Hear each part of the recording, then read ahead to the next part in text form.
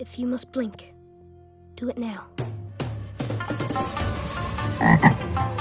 Hey guys, and welcome to a new review. Today we're taking a look at Kubo with Little Hanzo and Monkey from Kubo and the Two Strings. This movie is super underrated when it came out in 2016. It's my favorite stop motion animated film to date, due to the hard work the team put in for the animation and how nicely the plot comes together.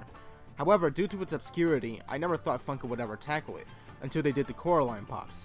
Coraline is another film the studio did, so when I saw they were doing that, my faith was restored. And behold, they did. They made Kubo, Monkey, and Kubo with the helmet and sword.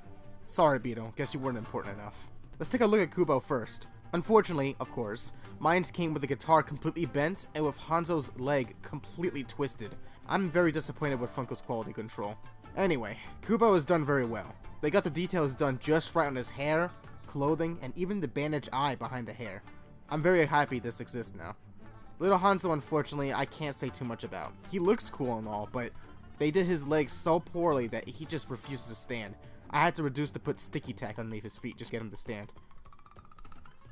As for Monkey, I really love what they did with her. The texture they molded into her body gives her that look that she has in the movie, where her fur looks thick and rough, even feels that way too.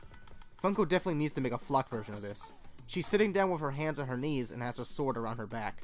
This is a pretty innocent version of her, but it would have been cool to have her in a fighting pose as well. As for the Kubo with the helmet and sword pop, I will be getting that one later, but it looks excellent as well. Now for the rating. I highly recommend anyone to watch the movie because it's truly fantastic, but the story might not be everyone's cup of tea, which may hold some people back from buying the pops. So for people that like the pops but haven't seen the movie, I say wait for the sale. But if you're a lover of the movie, it's definitely a must buy. Alright guys, that's it for my video today. My 21st birthday is this Saturday, so I'll most likely be posting a birthday haul soon. I have a couple ideas of the pops I do want, but it's depending if I even find them on that day. But anyway, thanks everyone for watching and I'll see you in the next video.